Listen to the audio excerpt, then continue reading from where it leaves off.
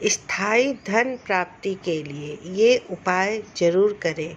भगवान शिव ने कुबेर देव को यह भी वरदान दिया था कि जो भी भक्त कुबेर देव की पूजा करेगा, उस पर धन एवं वैभव की वर्षा होगी। पृथ्वी लोक के समस्त धन संप्रदा का एकमात्र स्वामी कुबेर देव हैं। तो चलिए जानते हैं वो उपाय। इस मंत्र का प्रयोग व्यक्ति को सूर्य उदय से पूर्व ब्रह्म मुहूर्त में करना चाहिए।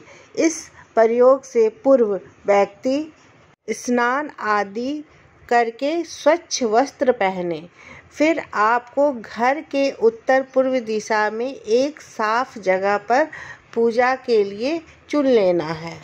आप इसकी शुरुआत किसी भी दिन से कर सकते हैं, लेकिन शुक्ल पक्ष की त्रयोदशी से शुरुआत की जाए तो ये बहुत जल्दी ही सिद्ध होता है। अब आपको एक आसन बिछा लेना है और कुबेर देवता को प्रसन्न करने के लिए ग्यारह बार इस मंत्र को बोलना है। मंत्र इस प्रकार से हैं। ओम श्रीम ओम ह्रीम श्रीम ओम ह्रीम श्रीम क्लीम वित्रेश्वराय नमः। कम से कम आपको चालीस दिनों तक इस पूजा को करना है। तिल के तेल का दीपक जलाना है और दीपक की लौ अपनी तरफ़ रखना है। जैसे जैसे आपकी जब संख्या बढ़ेगी, वैसे वैसे संप्रदा आपकी बढ़ेगी।